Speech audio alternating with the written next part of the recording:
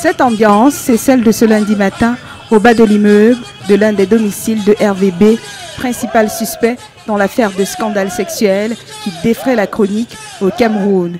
Il est situé au quartier Bonapriso, vers le carrefour Shell Nobel à Douala. Ce n'est pas la première fois que cet appartement loué par l'homme d'affaires est encerclé. Selon certains voisins, jeudi 25 janvier dernier, un huissier est arrivé dans l'immeuble avec à sa suite des dizaines de gendarmes. Ils ont défoncé la porte avant de pénétrer dans l'appartement transformé en meublé par le présumé prédateur sexuel.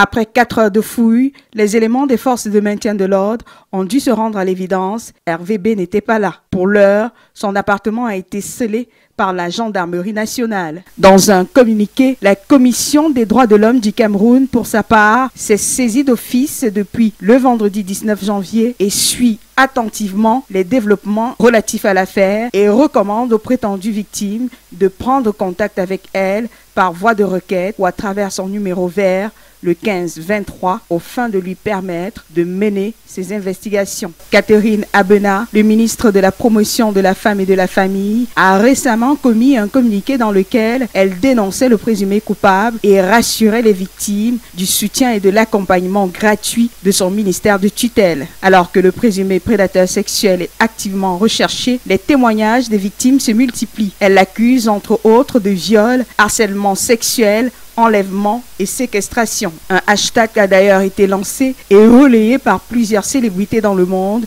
pour arrêter ce présumé prédateur sexuel.